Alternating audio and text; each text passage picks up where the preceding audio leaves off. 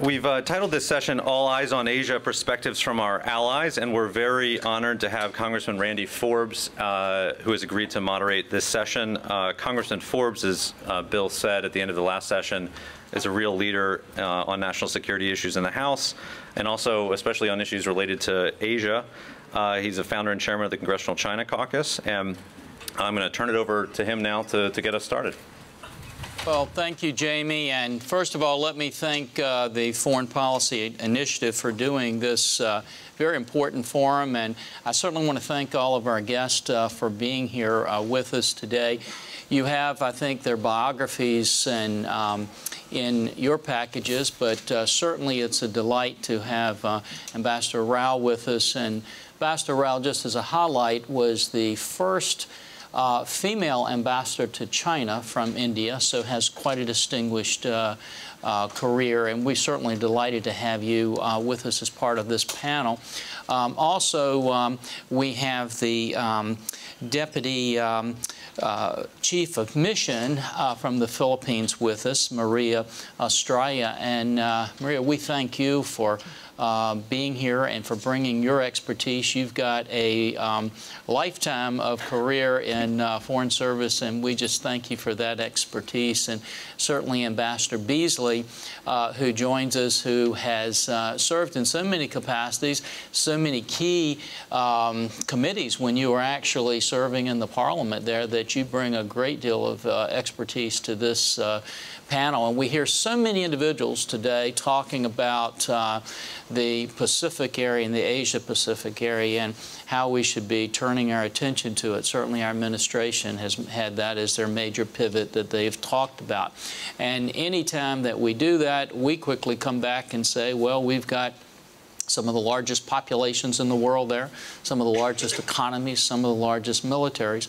Um, as Jamie mentioned, I chair the China caucus, and when we talk about the Asia Pacific area, one of the first discussions we always have is about China and what they're doing. But I'd like for you to start off, each of you, to give us your take on some of the key issues and concerns you see in the Asia Pacific area that might not be directly related to China because sometimes China kind of overshadows some of the other issues and and I think it would be interesting for us to start off with with your observations of what you think some of the other key issues are going to be over the next several uh, years. So Ambassador Rao, let's start off with your thoughts if you could give us uh, those uh, as we open up. Thank you. Thank you very much. Well, I would like to start first as India and how we see the Asia Pacific region. It's obvious that the center of gravity, all of us would agree, is shifting to that region. And India has always been a part of that region. We have always had a history of engagement with the countries of the Asia Pacific. It's not just something that began with our sectoral dialogue partnership with the ASEAN in 1992, which then graduated to a full dialogue partnership, uh, which then went further forward to a summit level engagement, and then our entry into the East Asia Summit as of 2005. And we're part of many other forums that, uh, that emanate from the engagement with the Asia Pacific. But for us, in terms of what we have done with the region, first of all, the fact that we have 6 million persons of Indian origin who live in the Asia Pacific region. We have 3 million such people in Myanmar, Burma alone today. And uh, we have about 2 million in Malaysia. And Indian uh, workers, laborers, entrepreneurs, professionals, traders have all been engaged with this part of the world for, for so, so long. In fact, it's so much a part of the Indian imagination, our engagement with the Asia Pacific. We have novels being serialized in Tamil magazines about the history of our engagement, and very popular too. I mean, they're the stuff that movies are made of, for instance.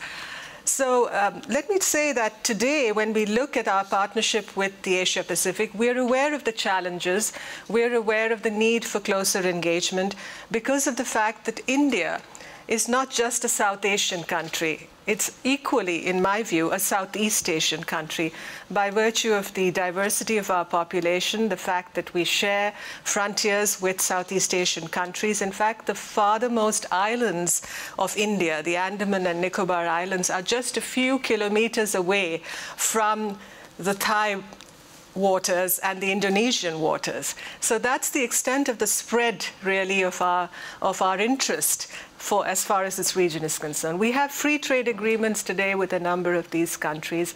We are uh, we have welcomed the idea of a regional cooperative economic partnership, which involves the ASEAN countries and the original members uh, of the East Asia Summit. So uh, let me just say, um, you know, when it comes to maritime security, when it comes to anti-piracy, when it comes to preventing the spread of uh, or the proliferation of weapons, just keeping the sea lines of communication open because we're a trading country too. We are one of the world's largest economies today, so we have every reason to stay committed and to be engaged with the region. Well, thank you. Ms. Austria, how about you? Hi. Uh, thank you, Congressman Forbes. Uh, a, uh, on behalf of the ambassador, I'd like to convey his apologies for not being able to make it. Uh, we had a tragedy involving some Filipino workers in Louisiana, so he had to fly there. Uh, but he would have wanted to be here, especially because in the past two years, the past few years, we have clearly seen how attention has turned to Asia, not just by partners in North America, but also in Europe, uh, the relations with Asia's relations with the rest of the world have never been as vibrant uh, in recent history. And we're very happy, the Philippines is very happy to be part of that uh, new relations.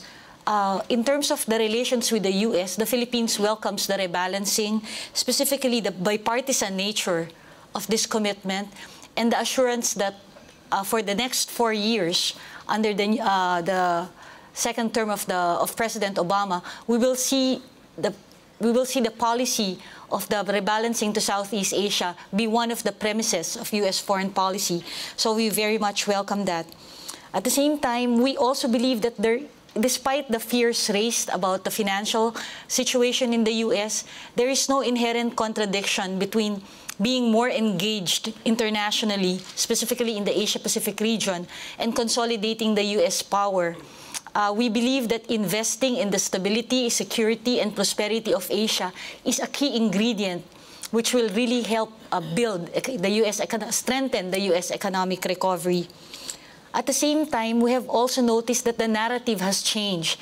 In the past, it's, uh, there has been this idea that the U.S. is a major donor to the countries in that allies in Southeast Asia, like the Philippines and Thailand, while the U.S. still remains our strongest, our biggest source of uh, foreign military financing, the partners in the region have also stepped up. The, mo the model now is one of shared responsibility. The countries in the region have never been as prepared to take on a bigger share of the responsibility for maintaining the peace and security of the region. In the Philippines, for example, we have spent in the last two years alone more than we have spent in the past 15 years before that in beefing up our external security. Our armed forces have also shifted their uh, attention from their focus from internal security to external defense. So that is a clear manifestation of the desire to take on more responsibility for the security and stability of the region. Uh, so with that, we are looking forward to working closely with our partners with our partners in the EAS, the US, Australia, India, China, among others. And uh, one other point, the strengthening of the engagement with other partners in the region is, should not be taken as, a, as designed to contain any other power. Basically, it's what we would like to do really is to sort of work towards guaranteeing the international order which has underpinned the growth of the region. So uh, we would like to disabuse the idea that the strengthened alliances is an effort to box out or contain any other power. Good. Ambassador? Well, I'd like to do a few statistics, but before I do, I just wanted to say that, uh, in fact, Australia internally represents very much the phenomena that the ambassador and the deputy chief of mission were talking about in terms of the the spread, the diaspora, if you like, of uh, of Indian and uh, and Filipino citizens throughout the region. Um, we have a large number of Indian Australians and Filipino Australians. In the days when I was employment minister, I used to note there was one interesting factor about those two communities. There are lots of communities in Australia. We're as multicultural as the United States. The interesting thing about those two communities, zero unemployment zero unemployment. And I bet if you looked at the statistics here in uh, the United States, uh, you would find something very similar. I think, I think from the, uh, the, the point of view of a slightly different orientation, which you called for, I think the thing, the, the most notable statistic for the zone that we're talking about here today is the fact that it's going to move over the course of the next 15 years from having about 20% of the globe's middle class to 60% of the, uh, of the globe's middle class. This, is, this area is going to be the focal point of the global economy. Nations will thrive and prosper to the degree that they successfully intersect with the Asian Pacific region economically. If they do it well, they'll prosper. If they fail to do it, they'll be on a permanent downward slide. So that's, that's I think, one of the, uh, the first interesting statistics from that. The second is, uh, and I guess, it, and I think in a way it's not just proximity, why Australia woke up to this pretty early and, and now delighted that uh, the US is, is we are more exposed. If you look at the Australian uh, domestic, uh, gross product, gross domestic product, about 22% of it and rising is in the internationally traded sector. In the United States, despite the fact that you're the world's biggest exporter, despite the fact that you are the you were the harbinger of, uh, of global capitalism and multi multinational capitalism, despite that, only nine percent of your uh, GDP is uh, in the globally traded sector. But your growth, your prospects for growth, as you look around now at, at drivers for growth in the US economy, has got to be exports uh, to this zone. So there's a, uh, the US has this going for it. It can be relatively relaxed and considered about the way in which it do things because the, the American economic engine is so gigantic it can actually support uh, most of what Americans aspire to. But uh, you can look at this as a long-term prospect. The third and last thing I'd want to say is this, you are absolutely right not to simply focus on China in this regard. The most interesting thing that we are now witnessing globally is the simultaneous rise of uh, a dozen major powers, rapid rise of a dozen major powers, in a set of circumstances where issues between them are not resolved normally speaking, an absolute uh, boilerplate requirement for a rise economically is that all the issues in the particular area have been settled. That you know what your borders are, that uh, there's a sort of rough common agreement on what character of the societies are that you have.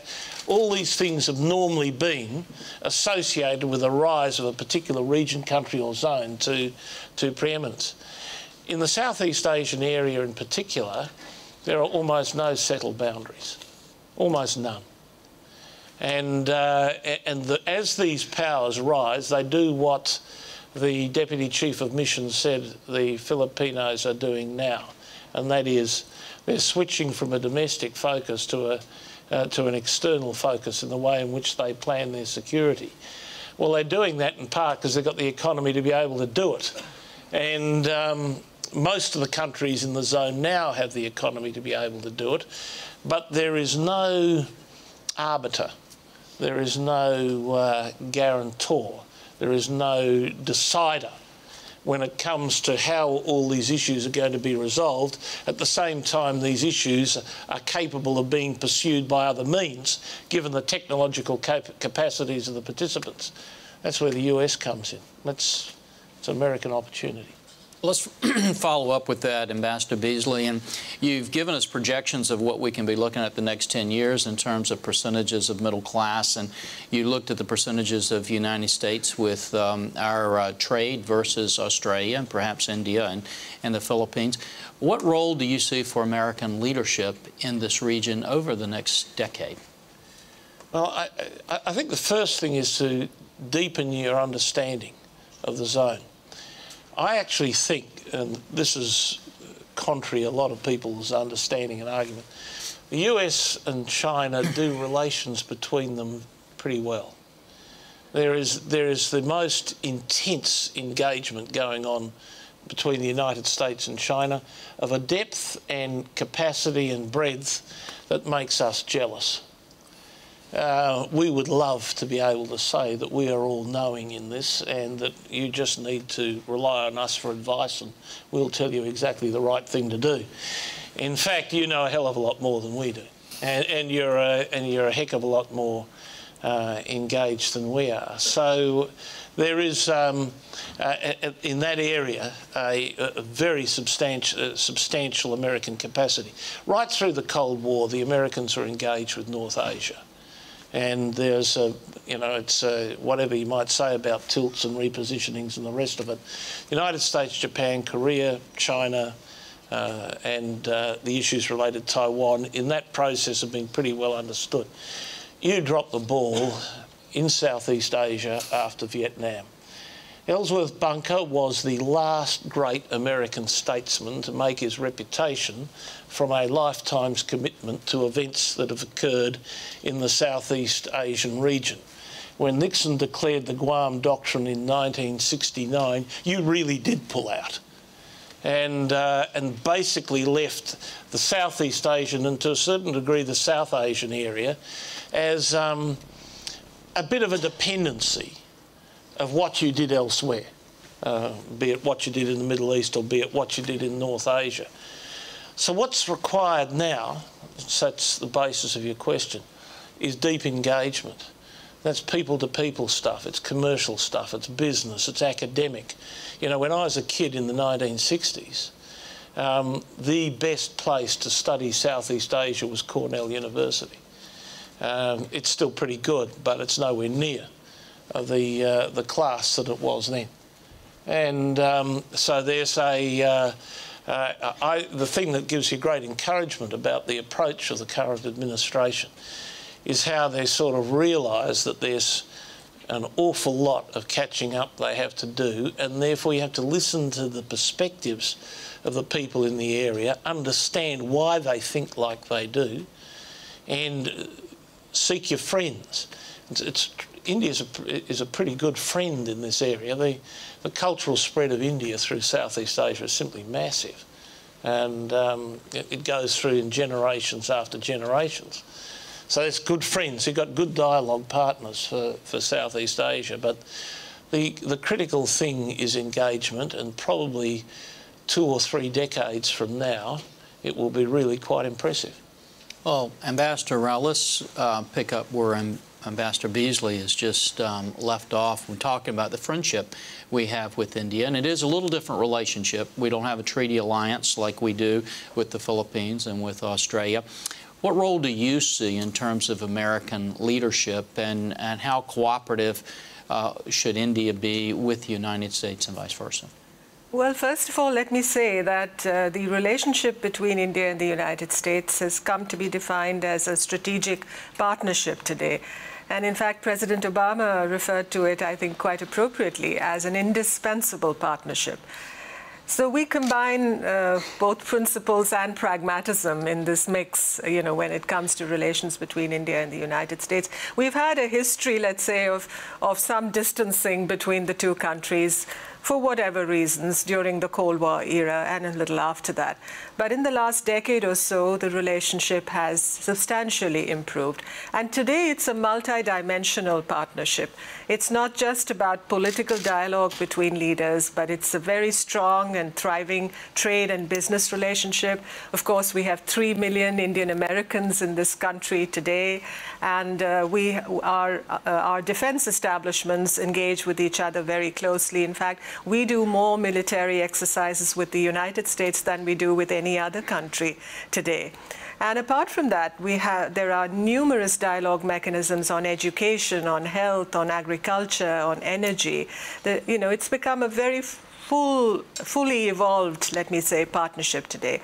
When you look at the region and we, when the United States talks about its pivot to Asia, what we in India have always regarded is the fact that the United States is, is has been and is and will be a Pacific power you know, the level of its engagement with uh, Northeast Asia, with East Asia, has always been substantial in the post-World World War II era.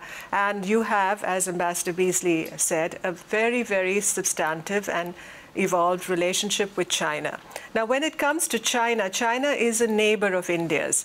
We have a very long border with China. We are immediately contiguous to each other.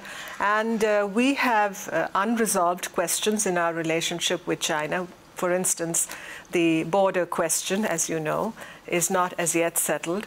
But what we've been able to achieve with China, and this I think also affects our perspective when it comes to uh, the evolving Asia Pacific situation. With China, we have built a relationship in which we've been able to manage our differences in a very rational and grown up way. We have, for instance, a mechanism to negotiate a settlement off the border between special representatives appointed by the leaders of the two countries. We have a thriving trade relationship. In fact, China has become India's largest trading partner in goods today. And just yesterday, for instance, when we had another round of our strategic economic dialogue with China in Beijing, we signed agreements and understandings worth about 5.3 billion US dollars in terms of investments, two-way investments between the two countries. So as uh, my colleague from the Philippines just said, you know, we are not looking at, at isolating China in, in this whole narrative of building better relations with the Asia Pacific. We see the need to engage China.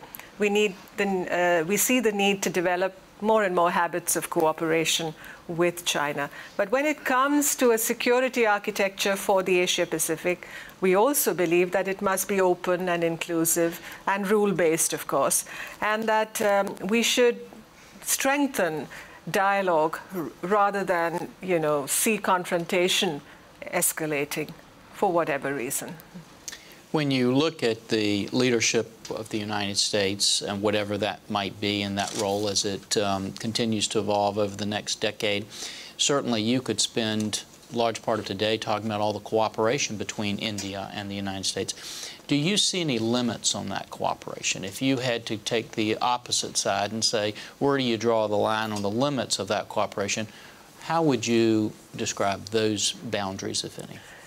You know, I would approach that uh, question from, uh, from where we are situated as a country. Now, India lives in a very complex neighborhood. And apart from that, you know, we have challenges. Uh, we have, of course, great opportunities also when it comes to our own development and our own emergence as one of the world's leading economies. But our concentration at this moment is really on how to see our development story move forward. We have work to do in that regard. And in order to complete that work success successfully, we need a very peaceful and uh, you know, stable neighborhood. And that is why we have, as I just mentioned in the case of China, and I'd also add the example of what we're doing with Pakistan today. We're trying to resolve issues through dialogue and through negotiation. Very, very complex, very involved history to some of these issues. But we're determined that it's only through settling these issues and normalizing relations in the neighborhood that we can advance. So when it comes to the United States, when it comes to countries like the United States, the United States will always be a very important and key partner for India. And there are, I just, you know, referred to the many reasons why, you know, we are good partners.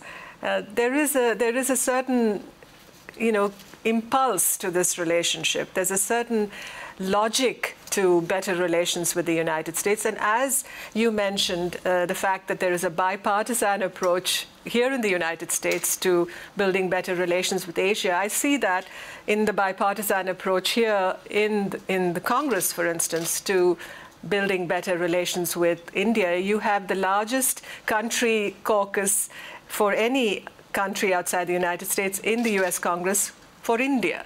The India caucus is the largest caucus when it comes to country-based caucuses in the both houses of Congress. So there are no limits really to this relationship, but I see this as a gradually evolving process. You know, uh, in India we have to do things our way.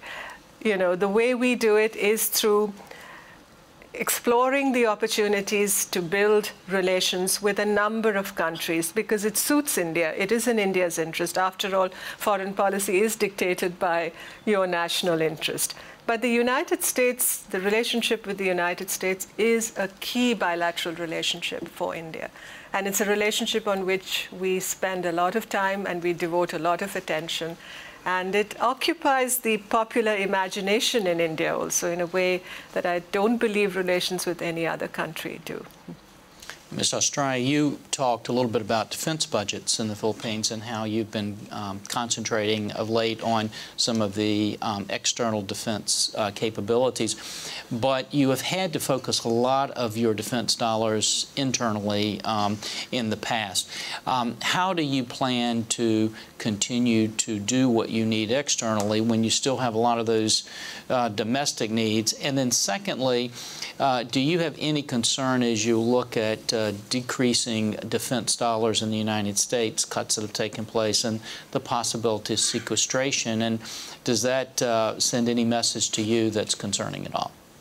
Uh, uh, thank you for that question uh, because it gives me an opportunity to inform that just recently we signed a breakthrough framework agreement with the biggest insurgent group, uh, the Moro Islamic Liberation Front.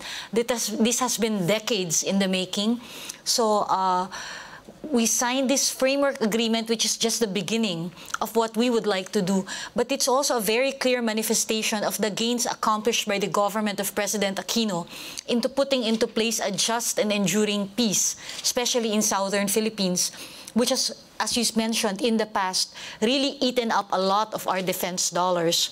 Uh, with this development and with this strides we have taken in counterinsurgent, in counterterrorism, we are able to successfully transition uh, the attention of our armed forces and pass over the responsibility for our internal defense to the Philippine National Police. Uh, this has been part of what we aim to do under the Defense Modernization Program, and we are at the point when we're slowly reaping the gains of these long-term programs. Of course, the, the threat of sequestration is giving us nightmares considering that the U.S. remains our biggest source of foreign military financing. But we're taking heart in the commitment made by uh, the administration of President Obama that despite all of these, Asia Pacific, not just the Philippines, remains a top priority. In fact, despite all this talk, uh, Secretary Panetta has just reaffirmed that by 2020, 20 na 60% of the naval assets of uh, the U.S. will be in the Asia-Pacific region. So we believe that while it is a cause for serious concern, the commitment of the U.S. government to remain focused on the region is of great comfort to us. And another thing I'd like to pick up on what Ambassador Beazley said about the fact that uh, in the past, uh, Southeast Asia has been sort of marginalized. We also are heartened by what we see now as a sort of refocusing internally within Asia from the attention given to Northeast Asia. In the past, there was the perception that the U.S. policy on Asia was largely focused on the Northeast Asian allies and partners, but not so much attention to East Asia. Uh, we now see very a very clear trend of Southeast Asia being given importance. Like for one, just three years ago, I could hardly imagine President Obama talking to the leader of Myanmar. And he just completed a very successful visit. So clearly, uh, there is great political will to engage deeply in Southeast Asia, not just in Southeast Asia bilaterally, but also in the institutions of Southeast Asia like the East ASEAN, the East Asia Summit for one, which has been a very useful mechanism for uh, dialogue at the highest level on issues of strategic importance. Ambassador Beazley, I saw you get all jittery and nervous when that question came up because I know you want to get into the one on sequestration and defense spending, but that Rhodes Scholar kind of comes back in you with your statistics. But, you know, one of the statistics that concern us a little bit is Australia's um, reduction in defense dollars. Uh, now you're at probably, I think, percentage-wise to gross national product, probably we're you maybe the lowest since maybe 1938, according to one statistic. Um, the question I'd have for you is this: Do you perceive that as sending any kind of message or um, signal that could be misconstrued as to Australia's commitment to security issues? And secondly, what, if any, concerns do you have about U.S. defense cuts and possible sequestration? And what message, if any, is that? Um, uh, how's that being perceived in Australia? Well, I, I think firstly, uh, what you indicate, and for many other reasons as well, when people ask me how do I approach the issue of sequestration and uh, its impact on the defence vote here in the United States, the defence budget here in the United States, I always say I approach it humbly. Because the truth of the matter is that when it looks, if you look globally, um, at the, the taxpayer's burden on defence. And term Australia sort of uh, is uh, is a is a chap racing with a uh, no more handicap weight wise than a baton, and the American taxpayer is some board devil with a hundred pound pack on his back, going up a sheer cliff. But uh, it's a, uh, a, burden that is massive in the United States, and uh, we are not entitled, any of us, to lecture the United States on defence spending. You carry much more of a burden than the rest of us. The, whatever our budget cuts are, however, it will not stop us being your fourth biggest arms uh, uh, uh, uh, customer. Uh, and it will not stop us buying an entire air force from the United States uh, over the course of the of the next little while. Um, it's been dollars well spent because of certain acquisitions with which you've been very generous technologically. Most recently, the Growler system, which we're just acquiring from the US for a couple of billion, which is, um, I think, we're the only other country operating that. And, uh, and so there's a, it's still whatever the level it allows a, a, considerable effort. I will say this, and it's, a, and it's, a, slightly lengthy but not too lengthy way of answering it. You, the different, we, we spend about what the Europeans do on average, and that's a source of American concern as well. But the difference is this. Uh, if you look at the national government share in Europe of GDP, it's about 35 to 55, depending where you are. We are the same as you. Uh, we are at the national government level at 25% of GDP. And so your uh, three and a half to four compared to our one and a half uh, comes off the same amount, if you like, of, of national effort, GDP, 25. With your 25, you're, you're, you're keeping going a, uh, a, a, a, pretty, pretty substantial social security system, healthcare and uh, healthcare entitlements. And when you move beyond that, you're pretty well into defence. In Australia, we do this. We support the virtually the entirety of the private education system, private schools. They educate 30% of young Australians basically funded by the national government. We support all the Australian universities. Basically, all the Australian universities are funded by the national government. We support the lion's share of all the public hospitals. Uh, the public hospitals are not exclusively funded by the Australian government massively. We support universal health care. Uh, from, uh, from that budget. We support the Australian pension system and unemployment system uh, from that national budget. And uh, this, uh, and we have to fit all of that into 25%. Well, of course, we do that by massive means testing of social payments. And, you know, large numbers of Australians receive no social security payments at all because they're means tested out of the system. So we have ruthless means testing, but the functions that we have to carry are vastly greater than the functions that are carried by the national government of the United States. And, uh, and it's a problem for people like myself who've always advocated pushing up the defence dollar in Australia. Is you, you, you're not you're fighting everybody as you're fighting the Catholic school system, you're fighting the Muslim school system, you're fighting the Jewish school system, you're fighting all the universities, you're fighting all the public hospitals, you're fighting virtually everybody with a requirement for federal help if you try to lift that, uh, that percentage up. Plus, we have, we're not like the United States. You are, you are the national reserve currency. Everybody turns their face to the US. We run a budget deficit and we're dead. And uh, therefore, we have to run balanced budgets at the same time as we're doing all of that. Ambassador Rao, you looked over the next 10 years, we'll have issues that come and go in the Asia-Pacific area.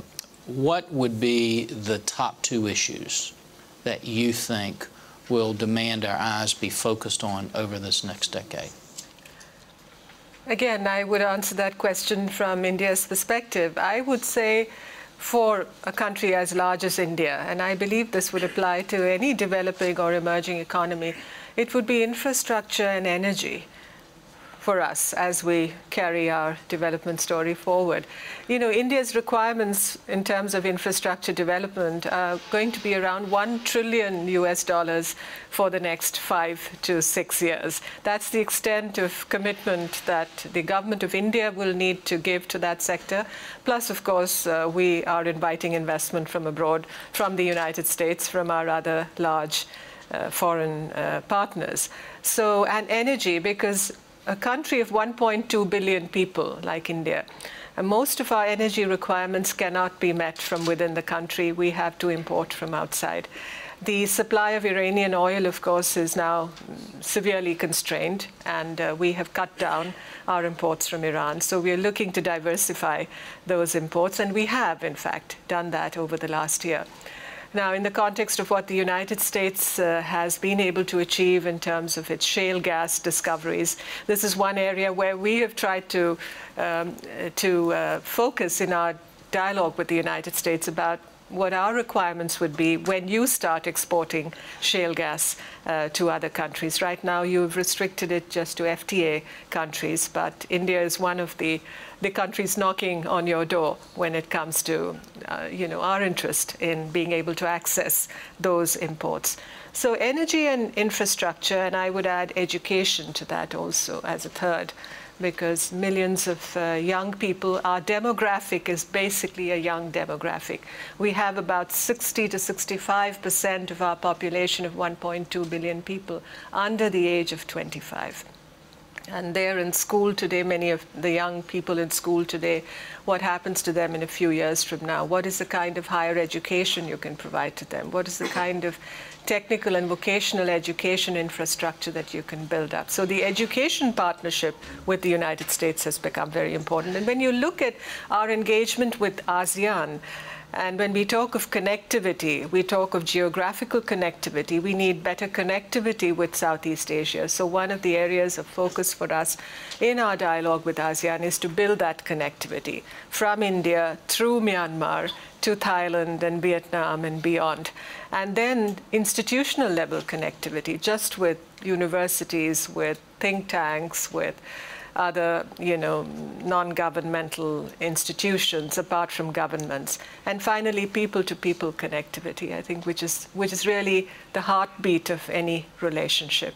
So this is just to give you a picture of what our priorities are.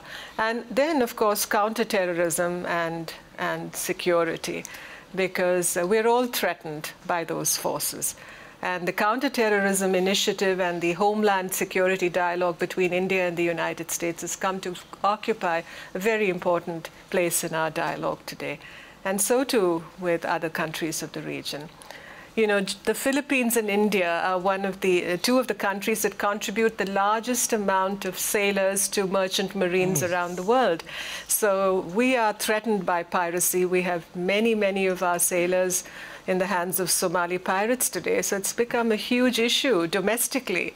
Because how do you tackle piracy? I mean, how do you tackle the issue of ransoms? How do you tackle the issue of hostage taking? What is the multilateral effort that you can launch to, to prevent this and to, and to eliminate this scourge? So, you know, there is not just one or two issues that are of priority to our countries. There are many, and that and the and the bottom line to all this is closer cooperation and greater engagement. Yeah.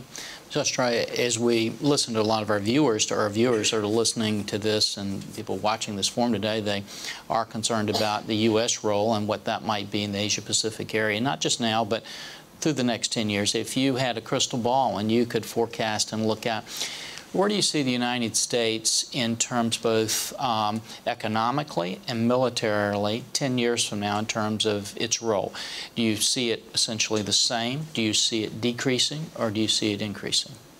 Well, uh, as Ambassador Rao said, um, U.S. has always and will always remain to be a Pacific power. So 10 years, 20 years down the line, we see the U.S. as an integral part of the Asia-Pacific region. Uh, and that means more integrated into the Asia-Pacific region economically, uh, security-wise, and strategically.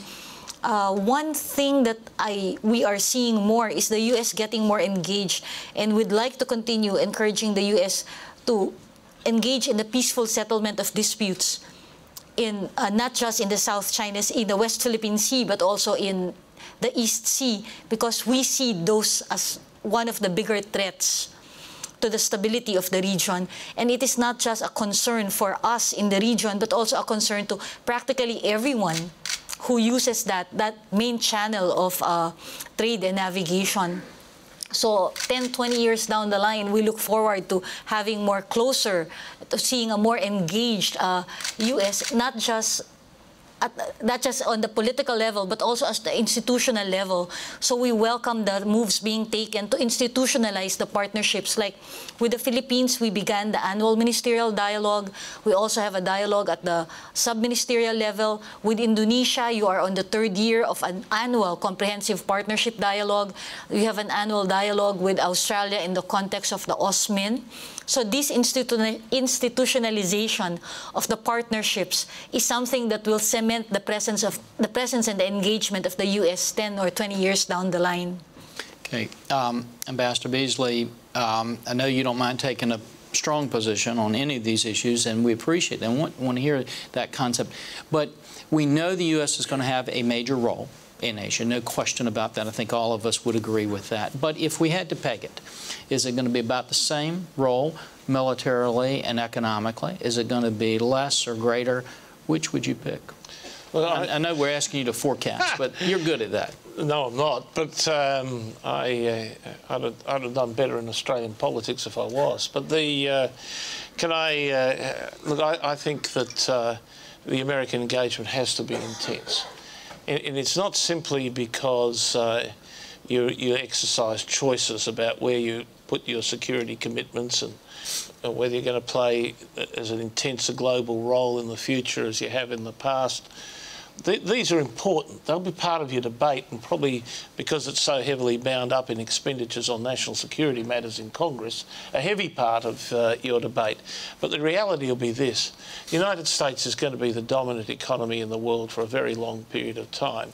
There is so much pressure inside the American economy to engage with the region. The region still prospers basically because the United States is the grand importer of last resort in, uh, in the global economy.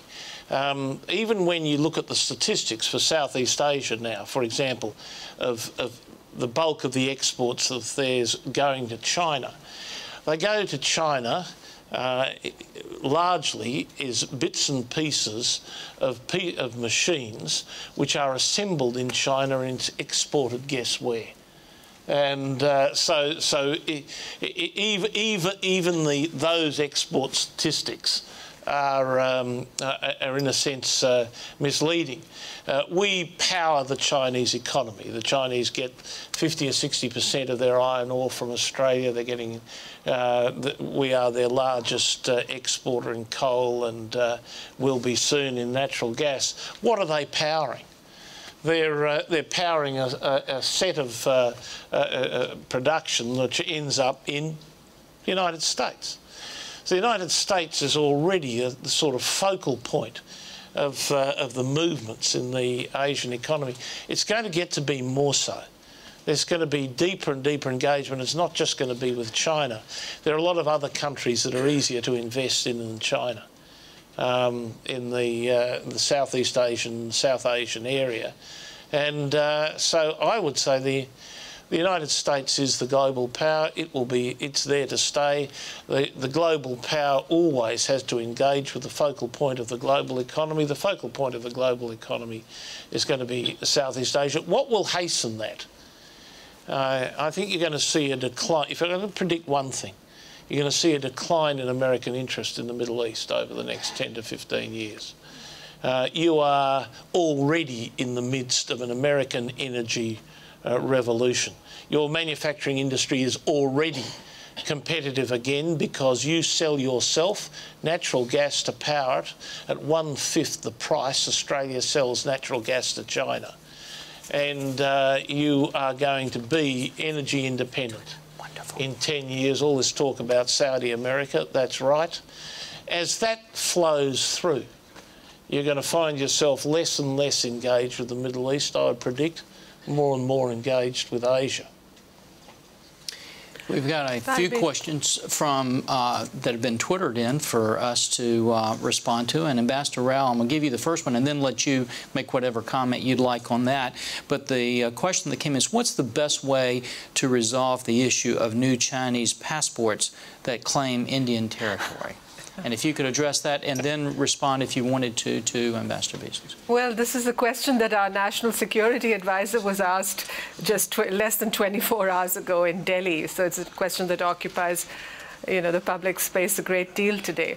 Well, I would, you know, having dealt with the issue for some decades now, uh, this is not going to go away overnight. You know, there are, as I said at the outset, unresolved questions between India and China.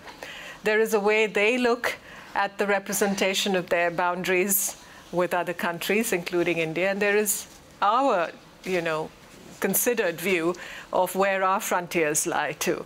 So there is a space between us, uh, you know, uh, on which uh, there is no common ground on, on this particular issue. I look at it this way, uh, you know, we recognize the fact that there are differences between our two countries on these issues. Now, how do we go about it? Our um, former Prime Minister, the late Mrs. Indira Gandhi, once very rightly said, you cannot march to Peking.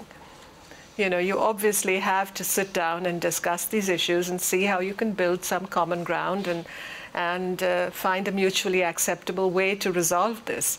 And that's the approach that India has taken. And uh, when we speak to the Chinese leadership, this is what they tell us to.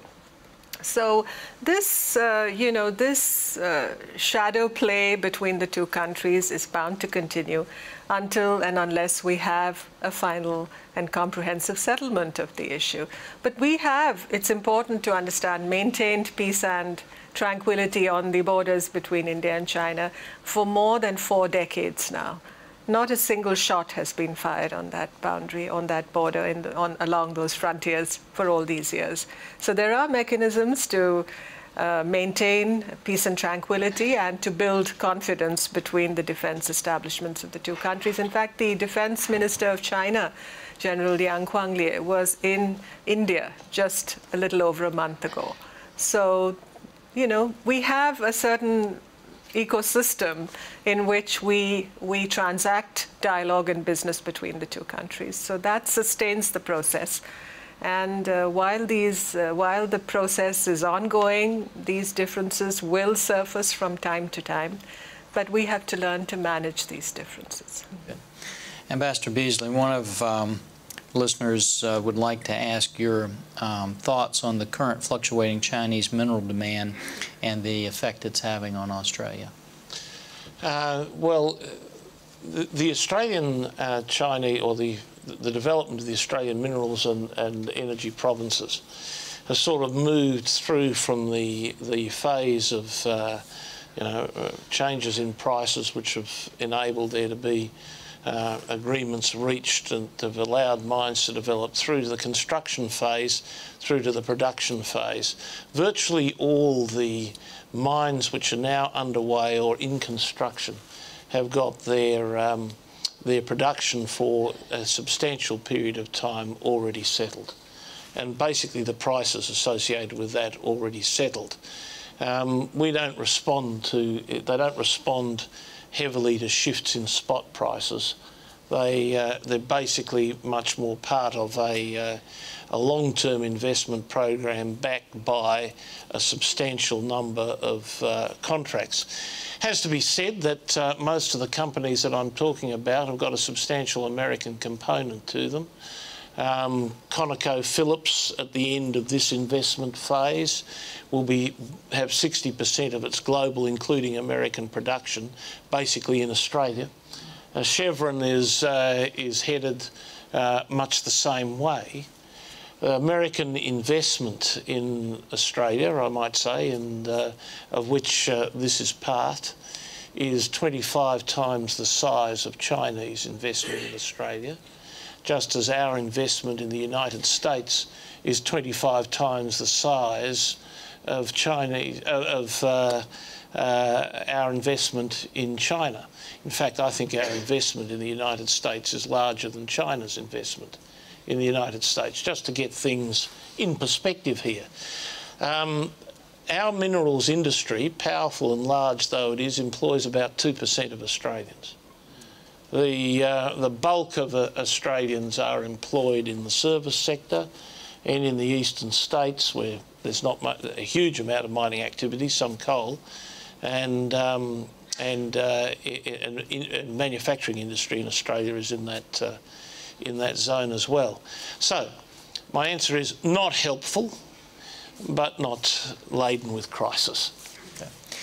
Um, Ms. Austria, um, could you tell us if you see the Trans-Pacific Partnership having a major impact in future regional relations?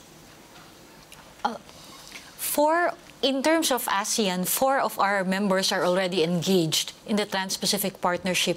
Uh, the Philippines and Thailand have expressed strong interest in uh, looking at the Trans-Pacific Partnership, where we see it as a good sign of the continuing U.S. interest in building in the regional integration of the Asia-Pacific region, uh, except that there are very ASEAN, for one, is in very various stages of development.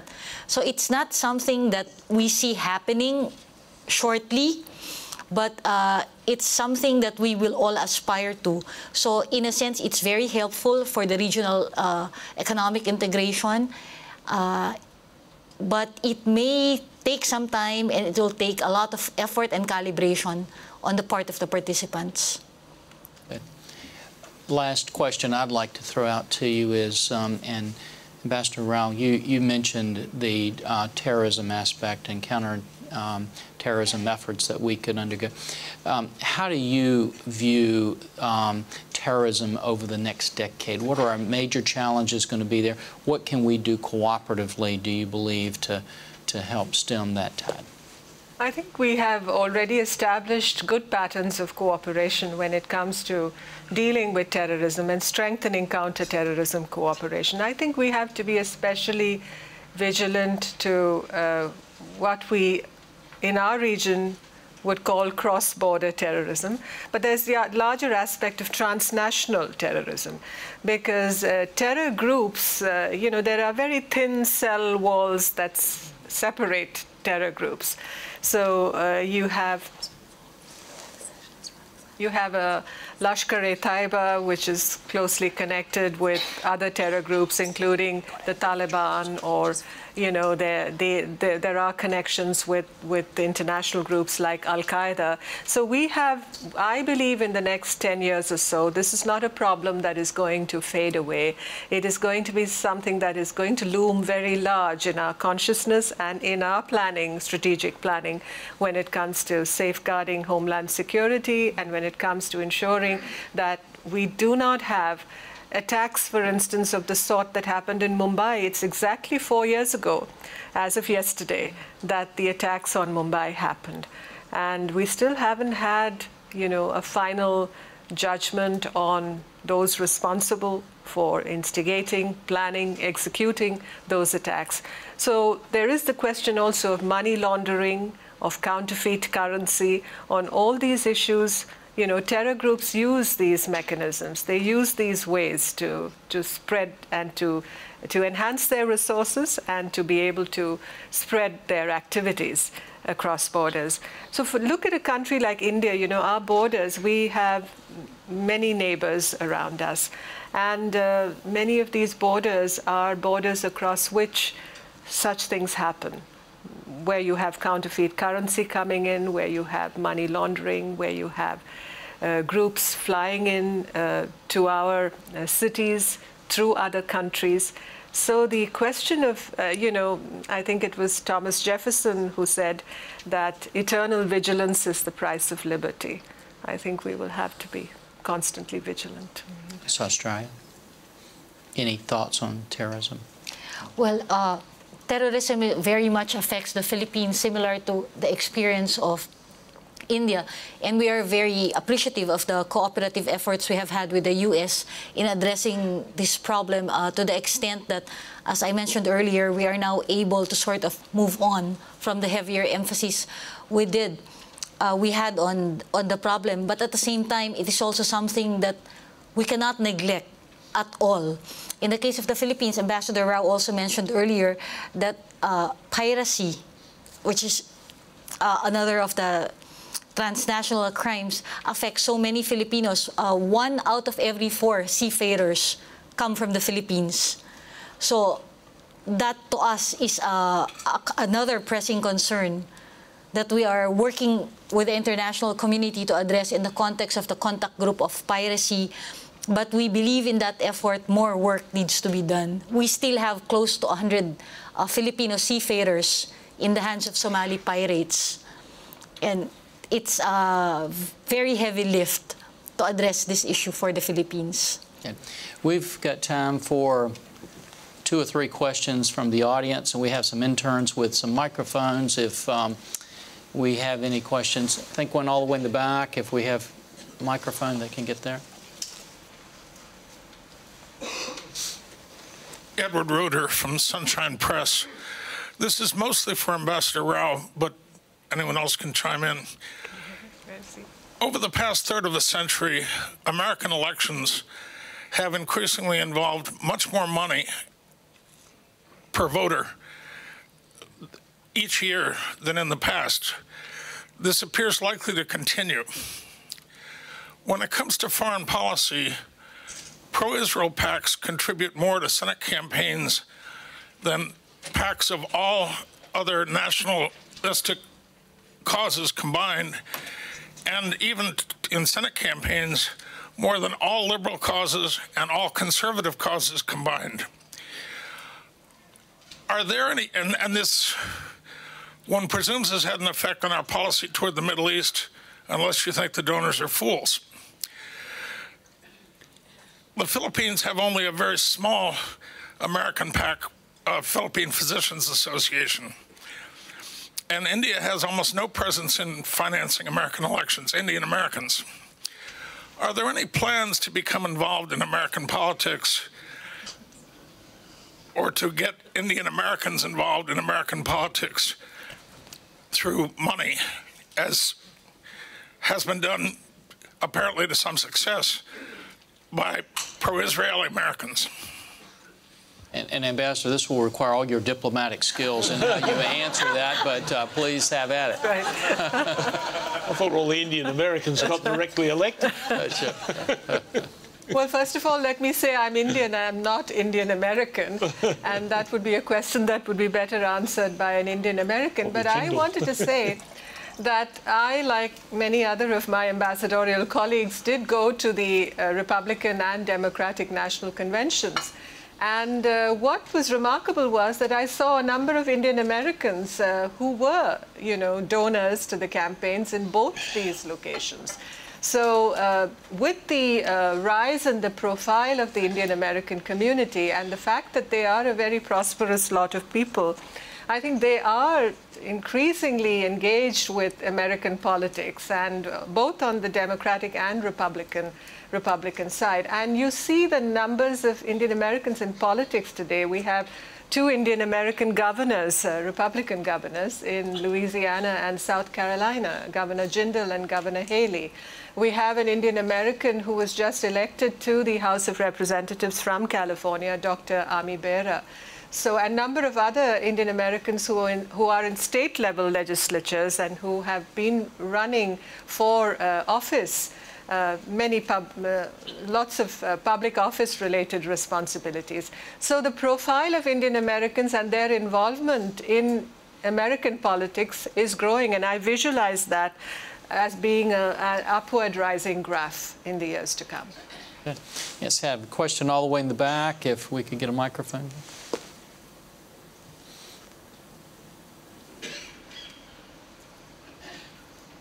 Hello, um, Catherine Fitzpatrick. I write on uh, Central Asian affairs. I had a question for Ambassador Rao.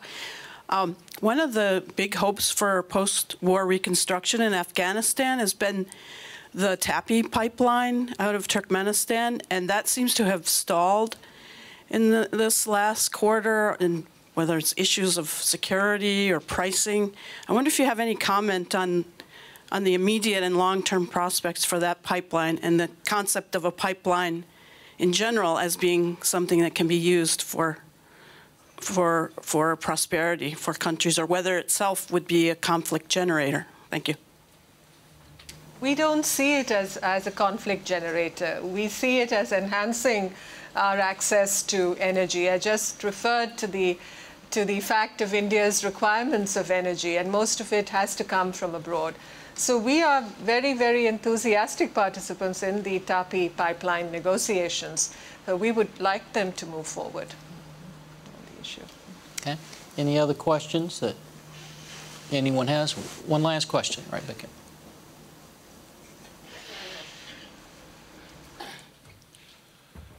Ken Meyercord, uh, Worldox. Um, is India concerned that our placing our relations with the Indian Navy under the Pacific Command instead of the Central Command as uh, India would like? Uh, does that raise a concern that, that we might be seeing our alliance with, military alliance with India as part of our effort to contain uh, China rather than uh, securing uh, supplies of oil from the Persian Gulf for fighting piracy? I, I don't believe we see it that way. all across the board, we have good relations with the American military, whether it's the, the Army, the Navy, or the Air Force. And it's not a question of which command we're dealing with, it's the substance of that cooperation. And the, uh, India and the United States, apart from sharing democratic values, uh, I would also like to add that we have convergent interests when it comes to peace and security in our region. And that is why we are exercising much and more, more and more with the American Navy.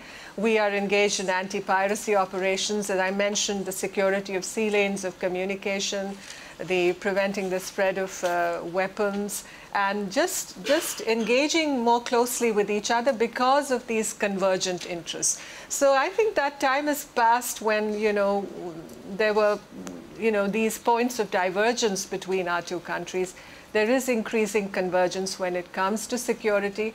And I wanted to mention, you know, when we talk of the Asia Pacific, I think the term that is increasingly being used is the India Pacific. Pacific it's the yeah. Indo-Pacific. In fact, the, uh, something that has perhaps not been much reported here is the fact that the United States has just been admitted as an observer to the Indian Ocean uh, Nations RIM Association for Regional Cooperation just in the last few weeks.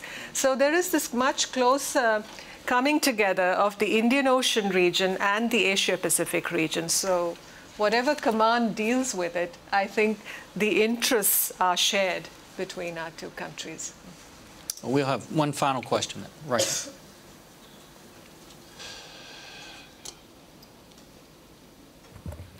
Thank you very much, Flavius Mihailles. Um, um, questions to Ambassador Rao. In the context of the UNFCCC um, COP18 um, meetings and uh, three years down the road um, uh, since the um, uh, Energy and Climate Change uh, Partnership Agreement between India and the US, where does this partnership stand? And are we moving toward a perhaps a common position on those global climate change negotiation issues? Thank you. Yeah, I think you have to uh, look at this from two angles. One, of course, is the UNFCCC uh, discussions and uh, our global climate change uh, related interaction. That's a larger issue. But there is a bilateral story, a bilateral side to all of this, and uh, that has reference to the energy partnership between India and the US. In the last two to three years, that cooperation has intensified. I referred to the fact that we have an energy dialogue. It's a dialogue that focuses on renewable energy. It's a dialogue that focuses on uh, second generation biofuels. It's a dialogue that focuses on energy efficiency for buildings. We have a regional center for clean energy research and development between India and the United States in operation today with funding provided by both countries. And we've announced several research projects involving universities and research institutions in both countries to look at energy related issues, particularly clean energy and the research we can do in that area so that you know we can bring affordable but green energy uh, to consumers in both countries. So this has become a huge area for cooperation between the two countries, and I visualize it growing. As far as the multilateral larger ambit of discussion goes, of course, you know, the United States and India have engaged very closely with each other when, it, when you look at the global climate change negotiations. We look, in India look at it from the point of view of sustainable development. We are concerned about uh, low carbon growth. We are definitely not a, a large emitter of green gases, and we would like that level to go down even further. And that is why we are concentrating on green energy research and development. Well, on behalf of the Foreign Policy Initiative, let me thank each of our panelists. If, in fact, all eyes have been on Asia, they've all been on you uh, this morning, and we thank you for, one, the service to your countries, but also your friendship with the United States, and thanks so much for your uh, help and guidance today.